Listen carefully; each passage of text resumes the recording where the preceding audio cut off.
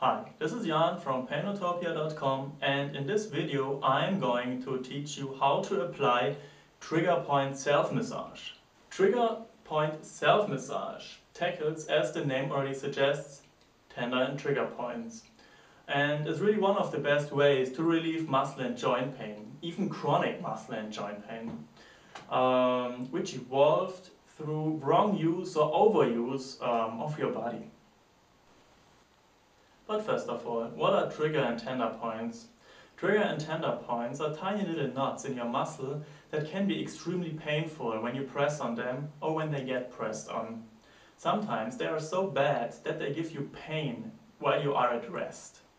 Um, so what is the distinction, what is the difference between a tender and a trigger point? A tender point is a point that um, gives you only pain in the area of its location when you press on it or when it's bad when you not press on it, so at rest. A trigger point on the other hand can, um, as the name suggests, trigger uh, pain to seemingly unrelated areas of your body. For example, I might have a trigger point right here in my chest and um, it might be so bad that I feel pain up here in my shoulder. This is why it is called, um, called a trigger point, because it triggers pain in another area. Before you can massage a tender or a trigger point, you have to find it. Or, you know, let's say you have to locate it. You have to know where it is. And um, you will do this by palpating your muscles, or in easier words, you are doing this by feeling your muscle. Um, you're inspecting it by feeling it and you're searching for tender or tight areas. Now let us say I press in here and I find this is very very tender and it's very painful when I press in here, then I have found a tender spot, a tender point. On the other hand, when I press in here and it is really painful and the pain starts to radiate upwards my, my um, upper arm into the shoulder, then you have found a trigger point because the pressure you applied here is triggering pain in another area. This is a trigger point. And I also want to tell you one thing that you please, please, please keep in mind when applying massage, no matter what massage, and when you are palpating for tender and trigger points or any tight muscle tissue. When you do that and you feel a burning or a tingling sensation right at the spot that you are pressing on, you might press on the nerve and not on a muscle. So please do not do that. It is not super dangerous, but it will give you unnecessary pain for a week or even two. Now, to get known what muscles you have to check for tender and trigger points, just shoot over to the symptoms and relief section and check all the muscles that are listed there. You know, click on them, study them.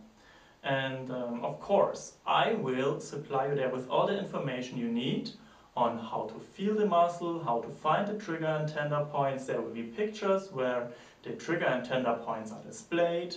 There's everything you will need. All you have to do is just shoot over there, click on the corresponding muscle and study that. And then search for tender and trigger points. To get rid of those points, um, self-massage is really a great option because you will literally squeeze those little points out of your muscles.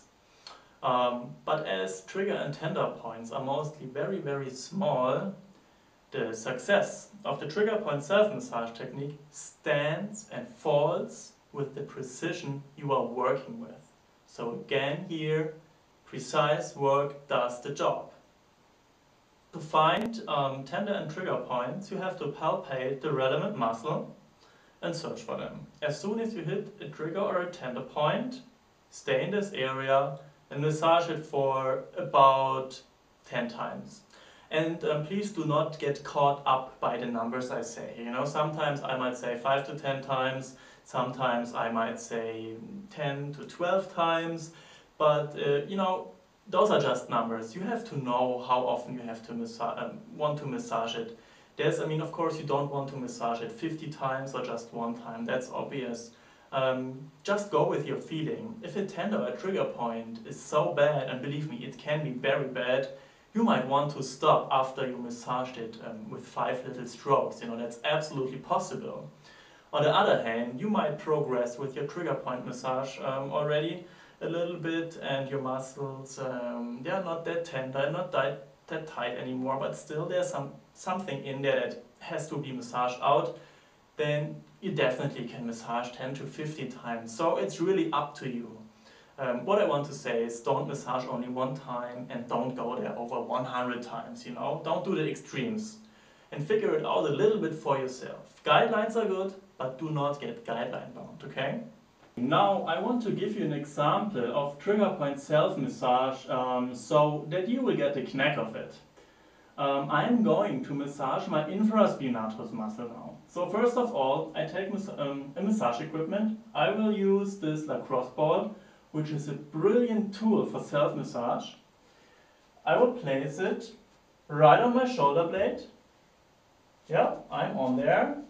And I'm searching now for tender spots by leaning against my super cool invisible uh, ball here. So, yeah, now I found a tender spot. I press on it, I slowly roll over that spot, now I passed it, I release tension, roll back, press in, and slowly repeat. Press, roll over the point, release, and repeat. Okay, this was very precise trigger point self-massage. Now, what I do not want you to do is placing this ball somewhere on a muscle and then yeah, rubbing around and rolling around over here. I mean, of course, you will feel where the muscle is tender and you will roll over that, but it's just too fast. Um, and your nervous system is not able to lower the muscle tension there.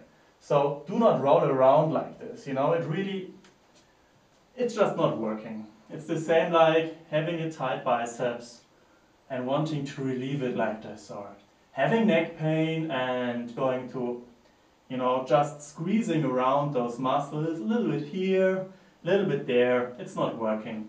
Don't waste your time there because um, you're better off doing something else, you know. Um, so if you do some self-massage, focus on it, slow and precise work does the job. Just keep that in mind. This was an example on how to apply trigger point self-massage and now I will show you a couple of massage tools that you can use for trigger point self-massage. You might use your thumb, your fingers, your knuckles, or your elbow, or different kind of balls, tennis ball, lacrosse ball, a soft lacrosse ball. You might even use a foam roller to do so. The use of those tools is explained in more detail under the massage section in Painotopia under the point self-massage tools. So you might want to shoot over there and check this article out to get known how to use those tools properly.